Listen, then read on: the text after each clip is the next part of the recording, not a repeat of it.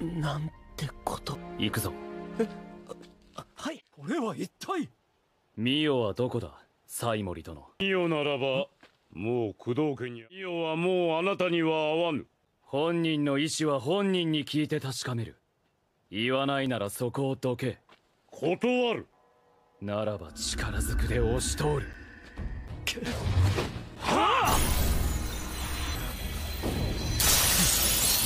さすがは工藤家の当主だ。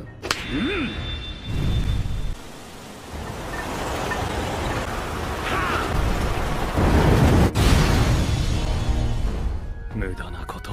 ものの化け物か。邪魔だ。どけ。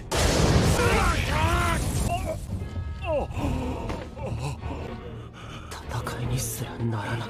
これが東大最強と言われる異能者の実力なのか？